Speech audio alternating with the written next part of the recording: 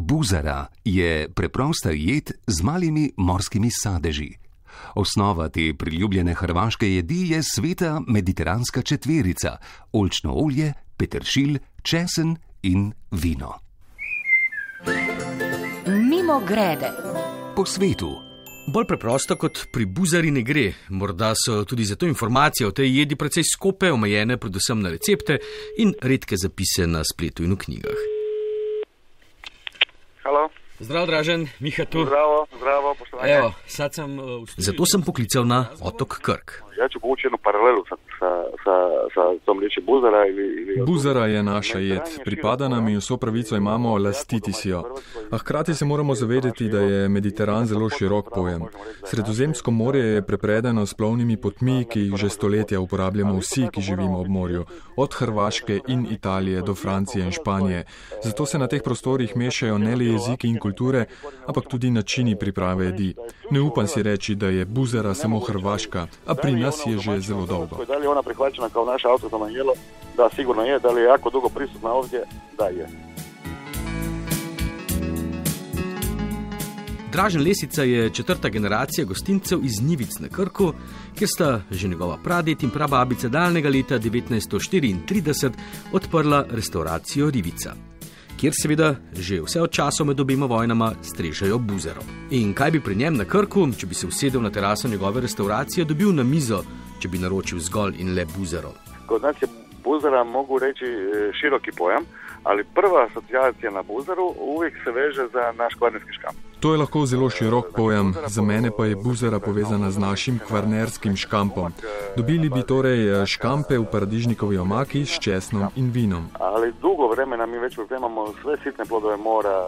Na ta način pripravljamo tudi druge rake in školke, pa ne le na rdeče, tudi v buzari na belo, kot rečem, le s česnom in vinom, brez paradižnikove omake. Na buzari na bijelo, mi kažemo. Odnosno bez rajčice, znači samo češnjak, vino, e, masno i peršin. Kaj pa če buzaro naročim v restauraciji v Dalmaciji, da nimo na Stradunu, v Dubrovniku, jo dobim na belo ali na rdeče? E, vrlo vjerojatno, vrlo vjerojatno isto. Zelo verjetno enako kot pri nas, ni pa nujno. Težko je ustrajati, to je najbolj pravo, ko ima jed tako dolgo zgodovino kot buzera. Nekje dodajo paradižnik, drugot ne. Skratka, nimam argumentov, da bi podkrepil, ali je bolj prava bela ali rdeča. Zame je prava buzara na rdeče. Jer je riječ buzara, možemo reći da je poima cijeli, cijeli naš Jadran, od Istre do, do, do Dubrovnika. Buzara je sicer doma od Istre do Dubrovnika in je pomemben del naše gastronomije. Ko sem raziskoval, odkot prihaja izraz, sem med drugim prišel celo do teorije, da ne bi jo prevzeli iz hebrejskega izraza bousara, ki označuje drobni morski živelj, ki ostane v mrežah in je za ribiče brez trgovske vrednosti. Bolj verjetno pa je, da so jed poimenovali po kotličku iz časa Beneške republike. Riječ buzara, mislilo se na kotlić, odnosno na, na, na kota, opadelu, u koje se kuhalo na, na brodovima, na barkama. Ne? Na galejah Beneške republike so za kuhanje hrane, tako za galjote, svobodne veslače kot posadko, uporabljali značilen ladijski kotliček, ki se je imenoval buzara ali prirejeno buzara. Beneška republika je vladala velikemu delu sredozemlja več kot tisočletje, zato lahko te kotličke z beneških ladij najdemo v številnih muzejih številnih sredozemskih dežel. Čeprav so škampi na buzari ponavadi ena od dražjih postavk na menijih restauracij, ki ponujajo morsko hrano, teoretik in praktik v kuhinji, vsestranski avtor kuharskih knjig, kolumn, blogov, oddaj in podobnega, Boštjan Napotnik Napo, ceni predvsem njeno skromno poreklo. Buzara je pa en tak spomenik minimalizmu, ne, te preprosti, rečemo, revni kuhinji. Zelo zanimivo je bilo um, na Ugljenu, prav tam, kjer, je, kjer so nastajale serije Kempinski, sem v turistični uh, pisarni dobil neko malo knjižico receptov, ki so jih zbirali četrtošolci iz osnovne šole na Ugljenu od svojih babic, prababic, kakorkoli. In sem jaz rekel, da ok, to bodo zdaj spet te neke ribe pečene, neki gor dol. Ne, zato ker to je pa res kočina povera. Ne. Ta lepe ribe, ribe ki, ki jih zdaj smo navajeni jesti, so šle ven, so se prodajale gospodom v, v Zadar um, in tam so se jedli zelo ostanki. Recimo v, v Buzaro so šli tudi oni neki tam mali reakciji in tako nek drobir, ki, ki ga nisi mogel za neke resne denarje prodati. In se je to skuhal, ne. tudi hitro je bilo fertik, um, če pa so imeli pa to radi, pa še toliko boljše. Boštjan je v izjemno duhovitih dnevniških zapisih Kempinski na svoji spletni strani kruhinvino.com sliko in besedo obeležil večino kempističnih košt, pripravljenih v surovih razmerah pomankanja običajnega kuharskega nabora, tako sestavin kot orodja. No, in med temi zapiski najdemo tudi zgodbe različnih buzar. Mimo grede po svetu. Tu je očitno pomembno in zdaj že obvezno vprašanje, katera je boljša, rdeča ali bela. Mislim, tle ne bova dala mi dva odgovora. Ne. Jaz lahko povem, katera je najboljša buzara, ki sem jo jedel, niti ni bila na morju, ampak je bila eh, v Vipavski dolini, eh, v Ozeljanu. Eh, ker gospod, ki ima gostilno, tam v bistvu tri dni ali štiri dni na, tedne, na teden živi na Lošinju in na poti nazaj, ki pride, um, nabere žajbal in ta žabel je v bistvu naredil razliko v tej um, buzari s školkami, ki je bila res perfektna in je bila pač bela buzara. Zato sem um, um, recimo oseben preferent bolj te bele buzare uh, pri školkah. Pri škampih se mi pa zdi, da je ta um, um, sladkoba, ki jo da recimo paradižnikova mezga, ki pa še tudi k škampom zraven, tako da bi rekel, ne, da, da, da, da ostanemo neodločeni. Uh, s školkami mi je boljša bela buzara in s škampi mi je boljša rdeča.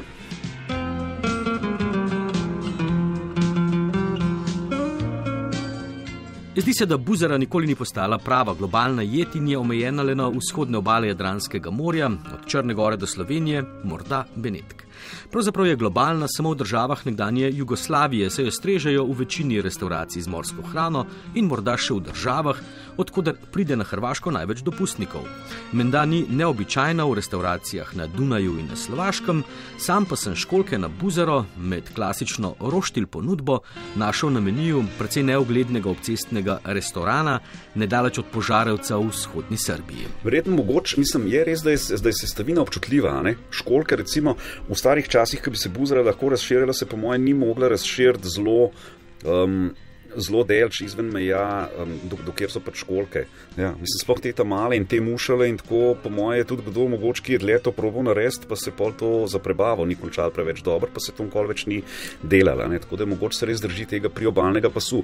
Po drugi strani, tle pri Italijanih na, na tej obali, ne, um, je bolj peš, je pesek, je milka in ni toliko školk, kot jih je po skalovju te razčlenjene hrvaške obale. Mogoče zaradi tega, ker, ker je tukaj veliko teh školk, zmeri bilo, ne, zdaj, ko so školčišča in, in umetna akvakultura, je tega več, ne, ampak včasih se je pa po mojem to jedlo tam, kaj je to bilo.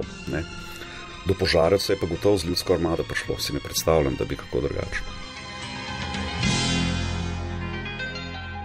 Mi, Srbi in Hrvati, besedo buzara zapišemo po principu piši kot govoriš. Z hrvaških turističnih menijev lahko razberemo, da se po nemško zapiše buzara z dvema zejema in za italijane je buzara kot beneški kotliček s sejem.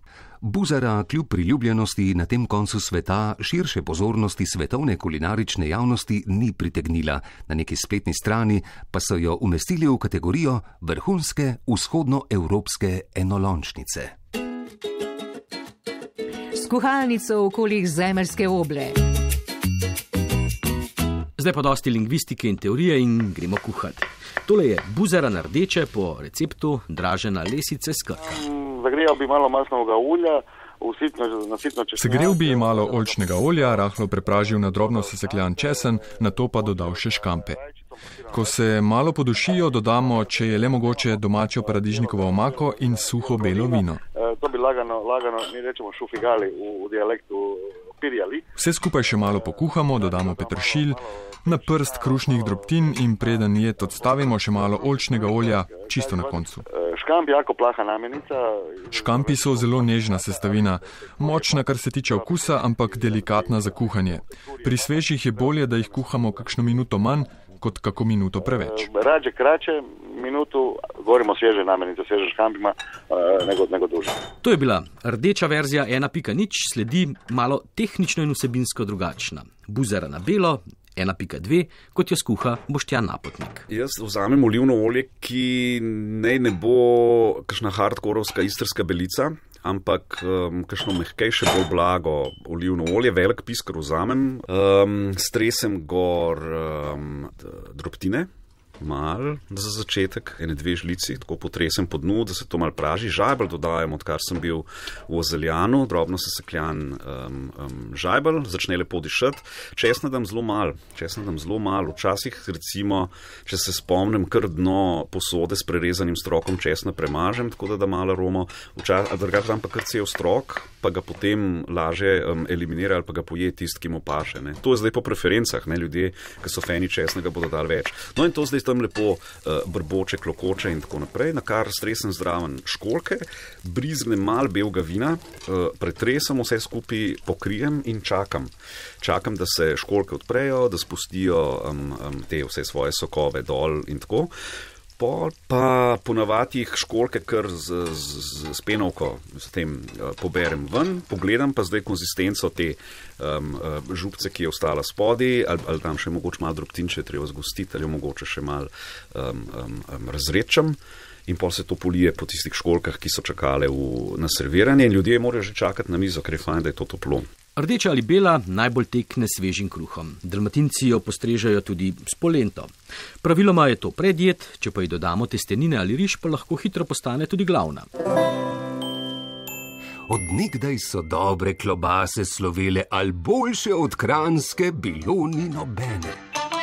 Mimo grede po svetu. Težko reči, zakaj, ampak buzare menda nihče nikoli ni poskušal, kot denimo kransko klobaso, istrski pršut, ajvar ali teran, zaščititi z geografskim poreklom ali zahteval ekskluzivnih pravic za njo. O pomankanju zgodovinskih dejstev, mednarodnih zapletov in teoretičnih izhodišč za buzaro nam dovolite, da z vami delimo šalo, ki jo dalmatinski natankari radi postrežejo ob naročilu škampov na buzaro. Izgledam kot svinja, ugotavlja žena, ko z možem na terasi pojesta vsak svojo porcijo jadranskih členonožcev, ki jih je roko na srce res težko elegantno pojesti. Mož jo pogleda in reče: Drži, pa še vsa si popackana.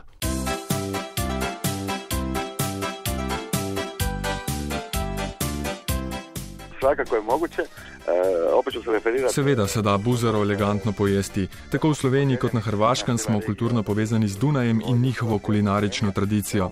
In vse odkar so na Dunaju izumili ribi nož, se da morske jedi omikano jesti.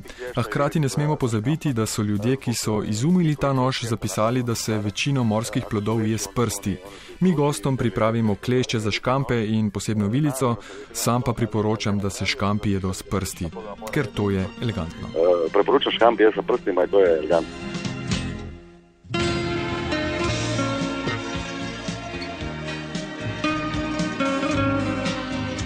Pravzaprav ni pomembno, ali so v njej škampi ali dagnje, ali je pripravljena na rdeče ali belo, preverjeno najbolj tekne v toplem poletnem večeru, ob Dalmacijo v srcu glasbi in prijetni družbi.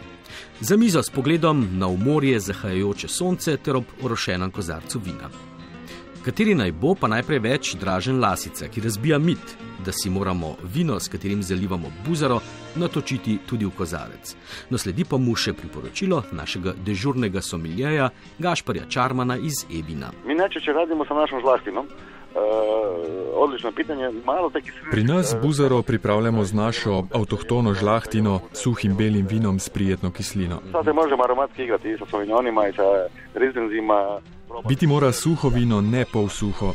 Lahko se tudi malo igramo z bolj ali manj aromatičnimi vini, da nimo suvinjoni, celo rizlingi. Kaj naliti v kozarec ob buzari pa je someljejsko vprašanje. Tu ne velja vedno, kar je v buzari, je tudi v kozarcu, ker je treba uravnotežiti paradižnik in sladkobo škampa.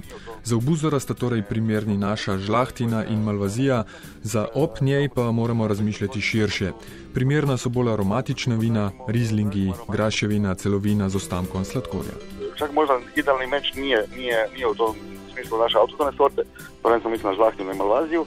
Pri buzari je za nas, somalije ali pa za tiste, ki izbiramo vino k buzari, velik izziv česen. In jaz bi se tle osredotočil na buzero, ki nima preveč česna. Uh, v primeru bele buzere definitivno spet neko elegantno uh, belo vino, kot je Malvazija, Beli Pino, lahko tudi Šipon kot avtoktona sorta Severne Štajerske, v Severne Slovenije na Štajerskem. Uh, če pa gremo na rdečo buzero, uh, kjer je paradižnik, kjer je ta mal, malce sladkobe, kjer je malce več karakterja, pa definitivno nek eleganten, dober šardonej. Uh, in lahko je to nek dober slovenski šardonej ali pa od tujcev meni idealna izbira nek dober burgundec beli. Mimo grede. Po svetu. Dostavljamo hrano, ki je osvojila svet na vašo mizo